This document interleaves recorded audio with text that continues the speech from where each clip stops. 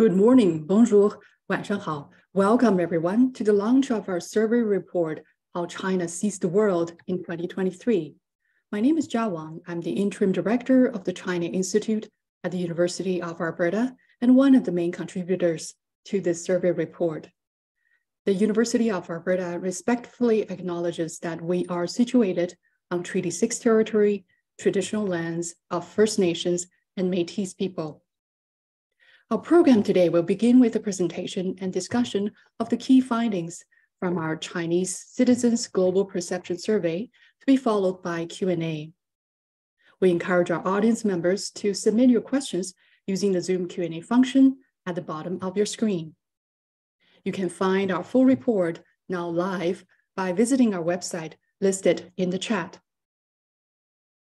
The rising tension between China and Western nations has centered on China using its growing economic and political might to assert its influence worldwide. Such tensions have led Western countries to consider China as an economic and military competitor, a systematic rival, and at the same time, a negotiating partner on selecting select global issues. But a greater focus has been placed on competition and rivalry.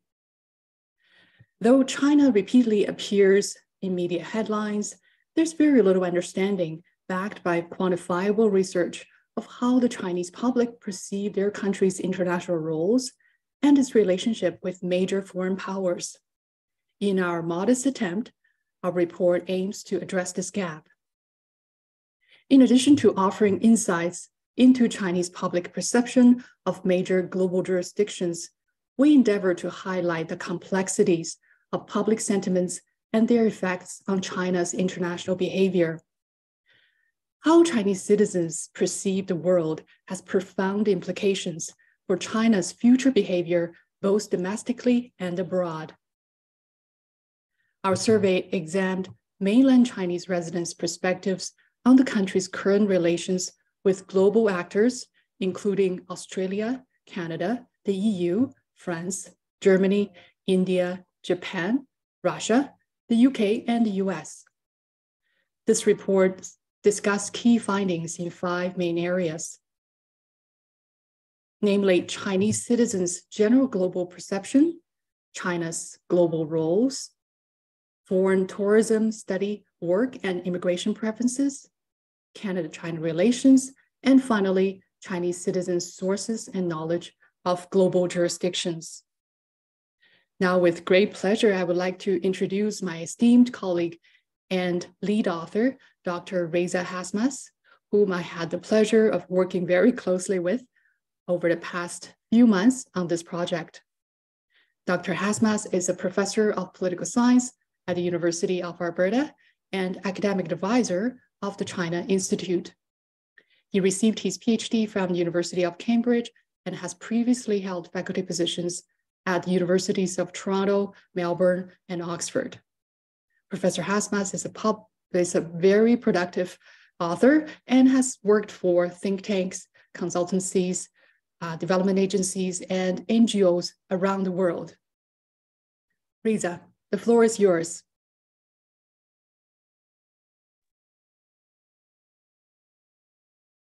Hello, everyone. It's a pleasure to be able to say a few words to you about this survey that we've uh, just launched. Um, bear with me while I launch the, uh, the PowerPoint deck. Um, okay. Excellent. So, as Jia has actually mentioned, uh, we have seen these sort of rising tensions between China and Western jurisdictions in the last few years, particularly in this decade. Um, and, and, in fact, we, a lot of the sort of conversations has been about decoupling from China. Um, and in, in, fact, what we did see is earlier this week, uh, the G7 at the G7 summit, we saw uh, this idea that well, Western jurisdictions are not necessarily decoupling from China, but the, then they went on to suggest ways in which they might actually decouple China. So even if you do have the rhetoric of, of decoupling or not decoupling, at the end of the day, we see around many Western jurisdictions is a awareness towards China. So it's, there's a there's a movement towards de-risking from China.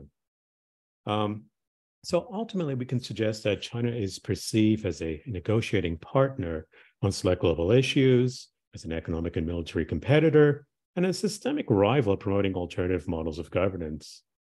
Now, as Jia sort of hinted, you know, how Chinese citizens uh, perceive the world has profound implications for China's future domestically and abroad. So while the Communist Party of China enjoys a monopoly over the political system, it does actually require political popular support and legitimacies for its policies. I mean, this has been quite historical where um, the party has retained that sort of legitimacy from the, from the populace. Um, and, and, in many respects, we can see this being reiterated by the fact that the party monitors public opinion, uh, they conduct public uh, opinion analysis. Um, so ultimately, it suggests that the general public support or dissatisfaction with China's foreign policy and activities can translate to future support or dissatisfaction with the party and the state itself.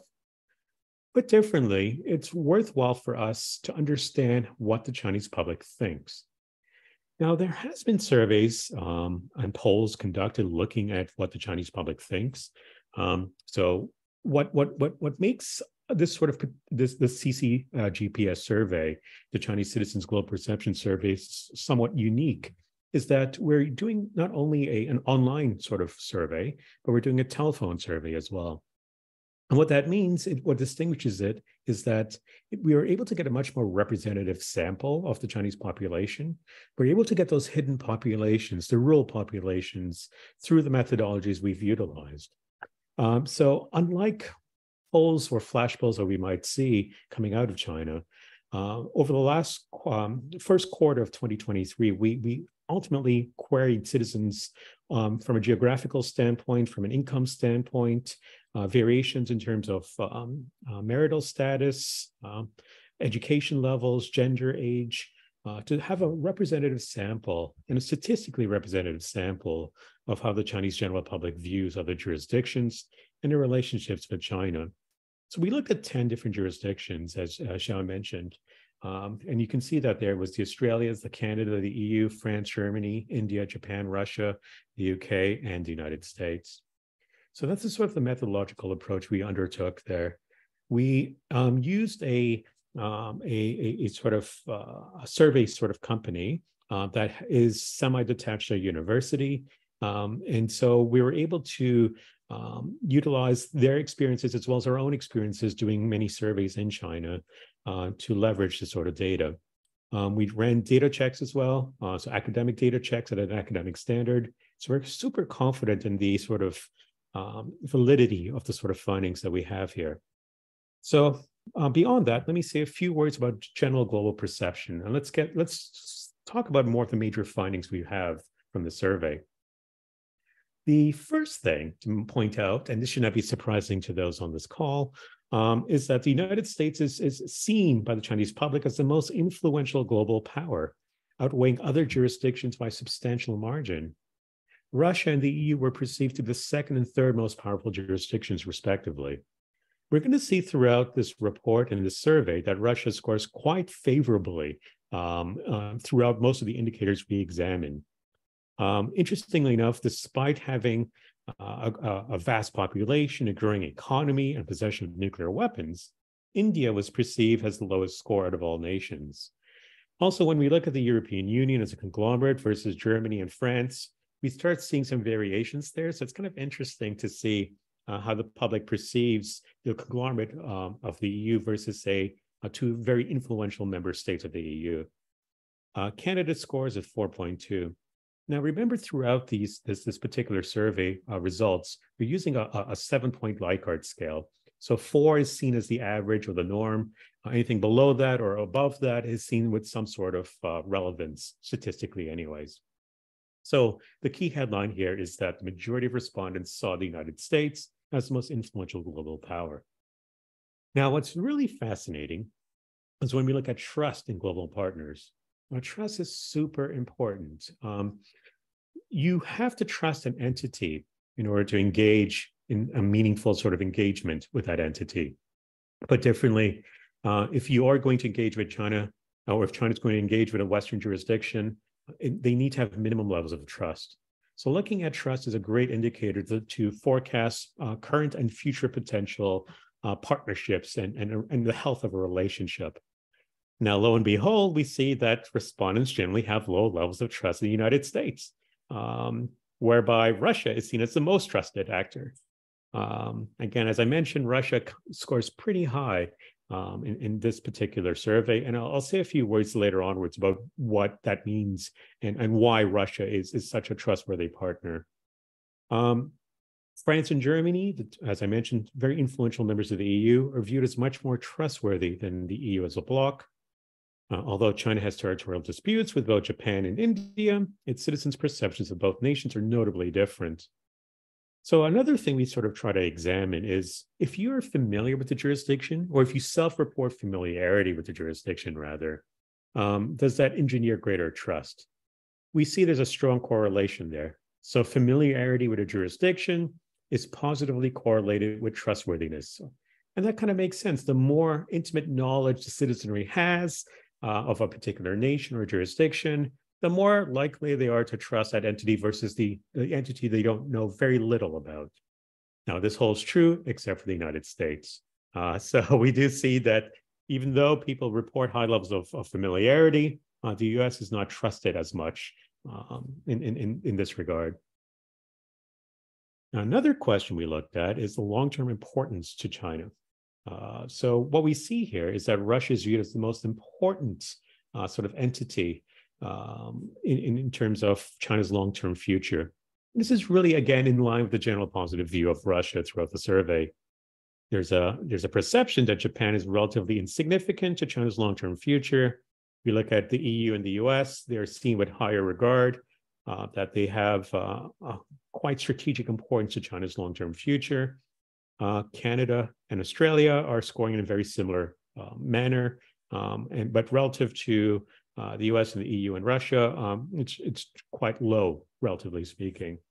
Um, so it tells you, in, in many respects, what this slide illustrates is who the citizenry believes um, plays a major role for China's future. Um, and, and, and here again, as I said, Russia, the EU, and the US are the top three in this in this respect. Moving on, um, we also asked citizens about the likelihood of military conflict in the next decade. What's particularly interesting is that the public perceives the United States as the jurisdiction that is most likely to engage in military conflict with China in the next decade.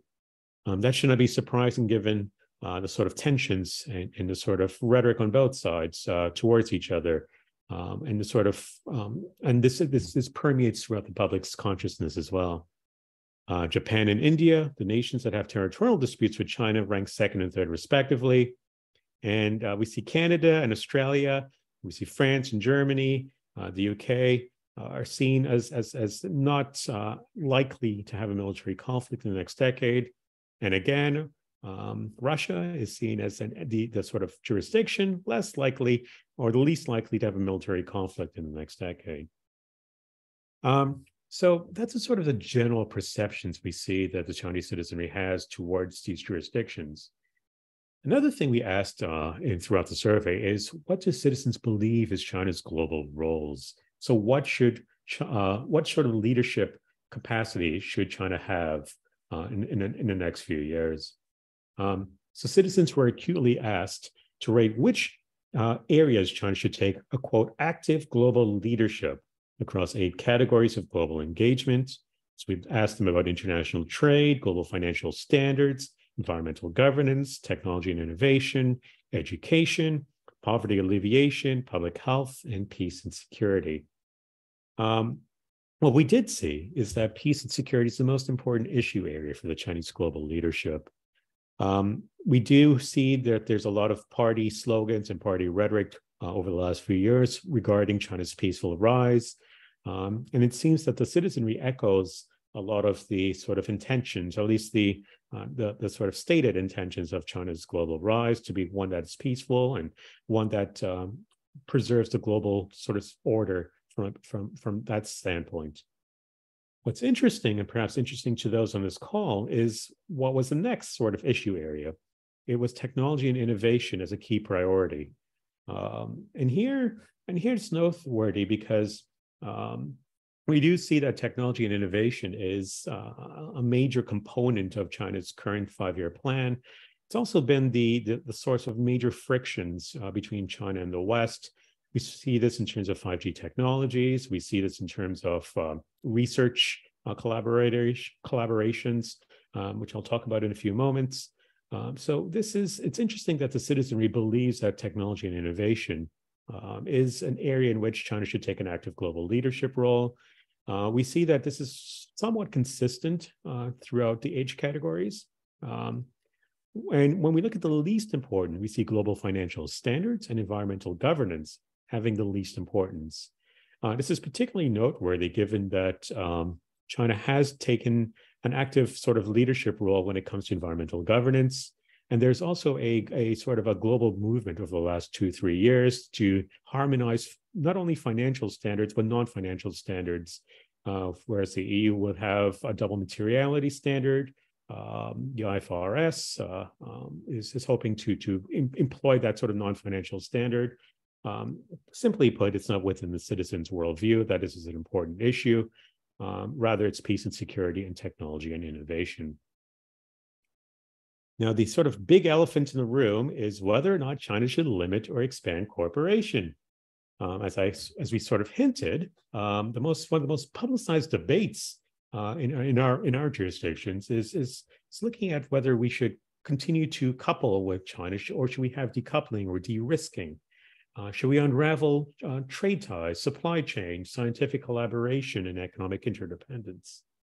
Um, so, in order to gauge the, the public's, the Chinese public's perception on this matter, we do ask a question Should China limit or expand economic cooperation? So, rather than being especially pro or anti decoupling, the public express a preference for expanding trade and investment relations and they also ex- express a preference for, for expanding technology and research collaboration with the majority of jurisdictions. Uh, this is quite consistent across income levels. Um, and so we see again, Russia consistently receive the highest score, whereby the citizenry believes they should expand uh, cooperation with Russia, followed by the EU uh, which is interesting because within EU circles, you do find that uh, uh, there's hawkish sorts of comment, uh, sort of movements and comments that perhaps uh, the EU should de-risk and decouple. And I think what, ironically, the example that the EU has with, with Russia is that the, uh, the EU can potentially decouple from Russia in, in, a successful fashion. And this could potentially be translated into decoupling from China. I would caution with uh, with that sort of mentality because China is much more um, uh, sort of heterogeneous kinds of relationships with the EU, where decoupling might be much more detrimental to both sides than, say, the EU-Russia example. Nonetheless, uh, we do see that Japan and India are scoring the lowest, and again, Russia the highest in, in these indicators. Um, let's continue onwards and talk about attitudes towards China's global engagement. So the survey asked respondents to rate their agreeableness between one and seven uh, with a series of six statements on Chinese foreign affairs and global relationships. So if we look at statement one and statement two, China should currently concentrate more on domestic affairs than on global matters. China is currently too open to foreign influence and thinking. We see that the citizenry generally, um, you know, disagree, uh, at least in, in, in just slightly below that four neutral score. Um, so there isn't a major sort of signifier in that respect there. Um, we look at statements three and four. The more a nation cooperates with China, the better off those nations will be. China's relationship with Western nations will be more competitive rather than cooperative in the next decade. There's a greater agreeableness with these two statements. Um, and then finally, in statements five and six, China's political and economic model should be exported to other nations, and China should change international practices and laws to reflect norms and values that are Chinese. Um, we see a uh, disagreeableness for number five, and we see a slight agreeableness to number six. Ultimately, what, what, what I take from, from these statements is the domestic public does not have an appetite for exporting China's model globally, and nor do they see that values and norms is a major sort of barrier uh, to, to cooperation. In fact, they, they do not advocate um, in a very strong fashion that China should export uh, Chinese norms and values globally. So it's it's really fascinating to see that because um, as we can see, um, if there is two entities that have different values and norms, and they perceive that their values and norms are the most important, it's near impossible to have cooperation. Um, and so on the one side here, we see that the Chinese do not see that their norms and values might be a hindrance to uh, future cooperation with other jurisdictions. So if we were to extrapolate that further, that's what I would suggest is some of the takeaways from, from these sort of attitudinal sort of responses. Um, okay, let's say a few more words about tourism, study, work, and immigration preferences. Um, interestingly enough, despite rising tensions uh, between China and most Western jurisdictions, uh, we see that uh, there's a strong desire by the Chinese population to directly engage with Western jurisdictions on a personal level in the next 10 years. Um, Russia is seen as one of the most favorable destinations for travel, work, and immigration. Uh, the United States is seen as the most popular destination of choice for studying abroad, followed closely by the United Kingdom. Um, most immigration preferences at a statistically relevant level revolves around employment and searching for an increased income. Um, some interesting tidbits as well. Um, having knowledge in a host nation language generally played a role in the destination of choice, and that kind of makes sense when you think about that. So for those who who know French or German, they're more likely to express wanting to visit, study, work, and immigrate to France and Germany. Um, this, of course, does not hold for Japan, and that might be for historical reasons um, that uh, the Chinese public are acutely aware of being wary of Japan through their history textbooks to, um, you know, oral sort of histories through their families. Um, when we look at uh, the, the, data in a more disaggregated fashion, uh, the younger cohorts, and by young I mean age 29 and below, are more likely to express a willingness to immigrate to Germany, followed by Russia, if you're married, you're more likely to want to immigrate to Australia. Uh, individuals living in China's urban areas are more likely to want to immigrate to Australia. Um, for Communist Party members, uh, if they want to immigrate, uh, France is the destination of choice. Um, and so it's it's quite fascinating from that standpoint there. Um, and the last point, I think it's quite significant as well having study abroad experience. So the citizens who did report having study abroad experience or not, it played no statistical role in wanting to emigrate uh, or in a general sense or wanting to immigrate to that uh, country in which they uh, they studied. Uh, so we do see that uh, there isn't that major linkages uh, between studying abroad experience and wanting to immigrate to the jurisdictions we examine. Um, so the next thing I would like to talk about is Canada and China relations. And this is quite topical, of course, given that um, uh, there's been um, accusations of, of tampering. Um, and uh, there's, uh, I mean, that's made the headlines in, in, in, the news cycle this week. We've seen uh, the detentions of the two Michaels. We've seen Canada's, oh, sorry, China's ban on Canada's canola. Um, and so there's been, you know, deterioration in, bilateral relations between Canada and China. Um, trade between Canada and, and, and, China has grown significantly since we've established diplomatic relations in 1970.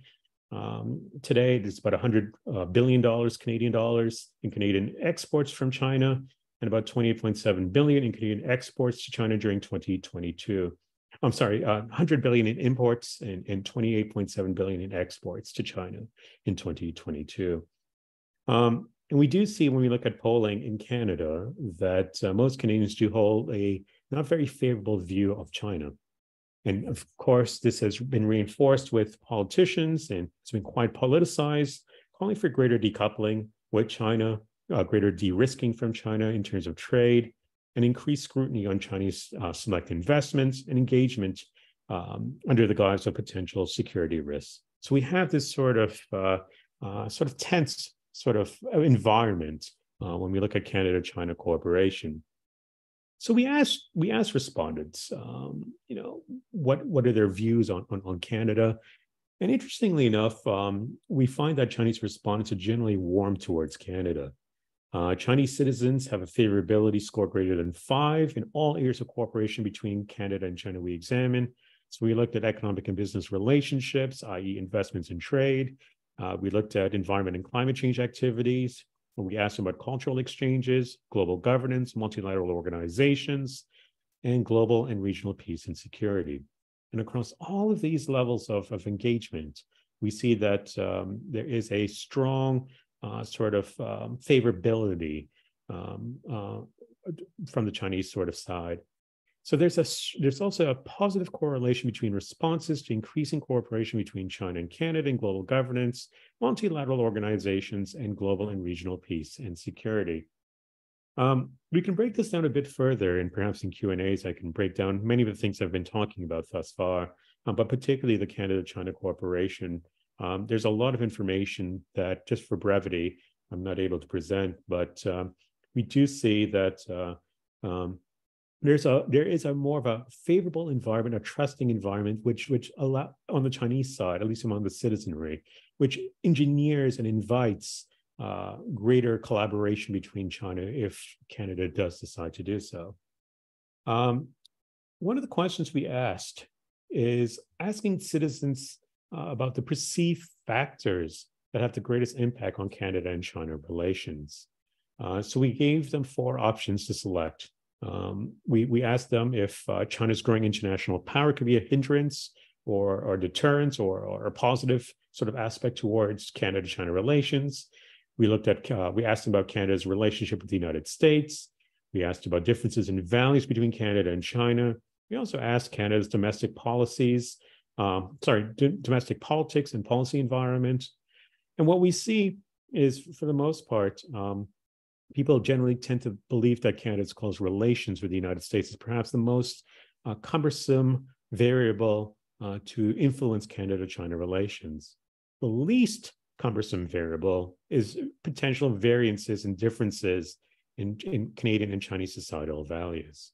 And again, that is a positive because if you if you if the if the citizenry believe that there is a a clash of values, it's almost um, it's it's it's super difficult to engage and have a fruitful cooperation when there's a value variations between both sides. Um, so I, I, think that is a positive that we can we can attach from from these results. Now, moving on, um, I want to say a few words about the sources and knowledge of global jurisdictions that the citizens report.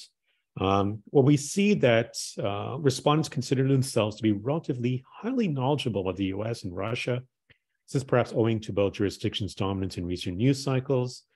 But what this chart also indicates is that when there's greater knowledge of the entity or when they self-report greater knowledge of a, a particular jurisdiction, they're more likely to trust that jurisdiction. So I think that is a great takeaway. And again, ultimately, um, when you trust the entity, you're more likely to want to cooperate with the entity in the long term. So I think having that that meaningful knowledge is a great sort of proxy to understand uh, trust currently and future trust, uh, which can lead to greater cooperation. Um, perhaps not surprisingly, because it's the same realities we see in our own jurisdictions, is that irrespective of age categories, social media was the most common way to obtain information on global affairs. Um, again, across all age categories, that is a reality. Significant. Uh, it's significant because if we look at traditional media, television, radio, newspaper, generally speaking, the party has been quite uh, good at uh, uh, influencing the sort of uh, messaging that, that, occurs in the traditional uh, sort of media. This might um, come in, in, in, the, in, the, view of having um, key talking points select sensitive issues that television, radio, newspaper may have, um, to um, downright censorship. Uh, so we see that uh, um, by virtue of the citizenry using social media as a way to obtain information about global affairs, there is more varied sources of information.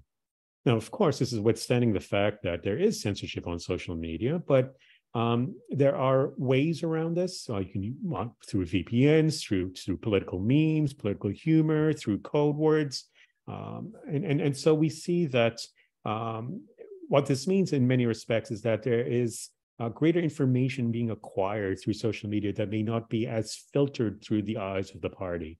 Um, what that also suggests, if you are a, a, a, foreign jurisdiction, ironically, is that you can influence the way the public uh, perceive certain issues by virtue of uh, using social media to your advantage. Of course, that is the great irony because that is the attendant fear that we have uh, towards uh, uh, Chinese-backed or Chinese-based uh, sort, sort of social media forums that are in our jurisdictions. Um, but ultimately, we do see social media is the way uh, in, in, in that that the citizenry gets their news about global affairs. The sort of uh, last question that we ask um, that I'll present today is looking at government action and the popular will. I think this is also interesting to look at because, um, you know, ultimately, if the citizenry cannot divorce the government from the popular will, um, that can be a bit tricky. Let me put it to you in a different way. Um, often in our jurisdictions, perhaps the government may not represent the views of the entire population. They may not accurately represent the, the attitudes of the entire population. And as, and as a result, we can potentially divorce the government's action from, from perhaps our own thinking and our own sort of mentality towards a particular issue. What we see in the Chinese context amongst the citizenry is that there's broad agreement within the population that a government's action broadly reflects the citizens' will. That means if the Canadian government, for example, um, does particular action, the citizenry believes that the majority, if not all citizens, believe that this action is, is, is, is reflective of what the citizens want and, and, and, and desire. So that is uh, um, that is something to, to point out because it tells us that uh, when a government behaves in an X or Y fashion, um, it, uh, the citizenry believes that that is what the that that that is what those jurisdiction citizens actually want, um, and so uh, we see this results uh, in terms of, of being quite uh, um, consistent across age and income demographics. Okay, so the last sort of bit that I want to say a few words about is what does this all mean? One, I mean, talk about some of the implications uh, towards some of the, our findings in, in, in many respects. Um, the first thing is saying is that we can suggest is that China really is at a crossroads with its interactions with major Western jurisdictions. Um, the data suggests that the public overwhelmingly supported China that peacefully coexists in the international sphere. This is demonstrable insofar that the citizenry considers global peace and security as the most significant leadership role China should take. Yet, with all jurisdictions, there are numerous strategic interests to balance that could compromise this meta goal. Now, China's stated goal to improve its technology and, and, and research standing is the most prevalent strategic interest that can incite future global tensions. As I sort of hinted beforehand, in the 14 five year plan, the current plan, China aims to develop basic research and significant breakthroughs in core technologies to the extent that the nation could be a global leader in technological innovation. They're also increasing um, R&D investment by 7% annually. Um, um, and so what we see here is that the that the, the citizenry overwhelmingly supports China becoming a global technology and innovation leader. Um, and so, um, how would China marry both goals to be a leader in global peace and security, and yet develop technology and innovation that ultimately challenges the current hegemony led by the United States, as well as the European Union in many respects?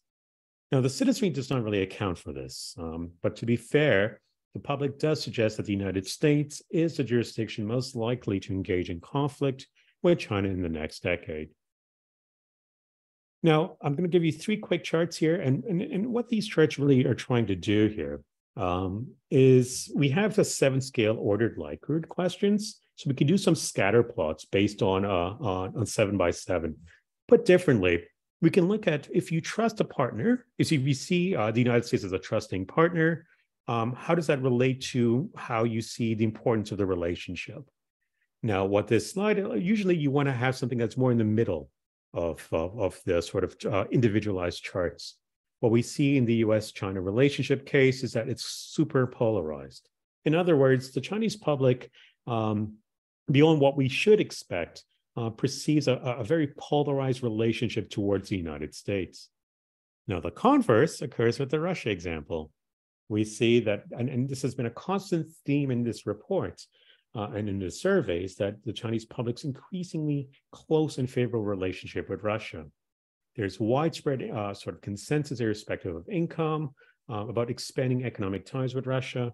It's seen as a favorable uh, sort of destination for travel, work, and immigration.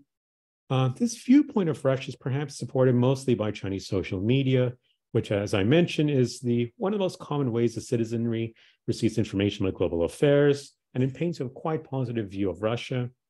Um, there's also a few other conditions uh, that can that can uh, lead towards this. It can be a very pragmatic one. And what I mean by that is, um, as the ruble has depreciated since 2014, it's become quite lucrative for Chinese to, to engage with Russia. And so uh, it kind of makes sense from that standpoint. And what the Russia-Ukraine sort of conflict has illustrated is that the, the ruble has um, depreciated even more, so where it makes it even much more attractive. If you're looking post-conflict, the post-Russia-Ukraine conflict, China has strategically situated itself to benefit from uh, its sort of partnership with Russia. So in many respects, uh, uh, we see the quite the opposite sort of reality uh, from Russia and China versus the United States. And these kinds of uh, plotting illustrates that. Now, just for comparators, I'll show you Canada, Australia, and the United Kingdom. Um, I'll say a few words about Canada, given where, where we're located. Uh, respondents who, who live in large cities are more likely to rank the rise of China higher as a factor uh, affecting Sino-Canadian relationships. Compared with rural respondents, people living in towns, counties, and middle cities are more willing to identify the value difference between both nations as a factor. We also see that individuals with higher income are more likely to rank the US Canadian alliance uh, and value differences as factors that can influence. So there's some gradients to this. I mean, I mentioned some general observations, but when you dig deeper into the data, you see some general uh, sort of, uh, some specific uh, sort of observations. But ultimately, this is what we should expect when we look at Canada, Australia, United Kingdom, that there is not as much of a um, a polarized kind of relationship that the citizenry perceives. Similarly, with the European Union, Germany, and France, we have a much more normalized kind of um, uh, relationship that we see. It's not super polarized. Um, India and Japan, we see that there's less favorability across most categories. But again, this is what we should expect. So the outliers thus far has been Russia and the United States uh, using the data analysis. So a few final words. Um, don't think we should see China's coupling with Russia as a crystallization of a bipolar global order, with Russia and China on one end and Western jurisdictions on the other. As I mentioned, I think the Chinese are super pragmatic in their relationship with Russia. Um, they see that they can strongly benefit from their relationship with Russia, both economically and in other indicators that we looked at. Um, and, and, and, this is even in a post-conflict with, with Ukraine, um, that the citizenry can benefit from that relationship. So they're quite well situated in that respect, in that regard. Um, we also see that uh, there are points of numerous interactions um, that is supported by the Chinese public that can serve as a means of bridging potential disputes between China and Western jurisdictions.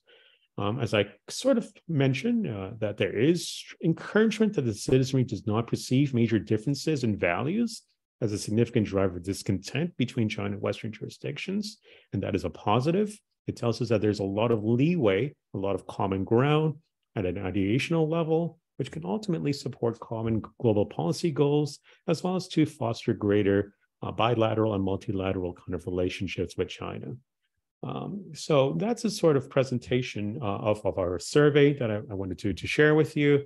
Um, again, this is more of a broad overview. I'm sure you have very specific questions. I'll be happy to answer any of your specific questions or go into greater detail about any of the facets uh, that was mentioned in, in this particular presentation. So thank you.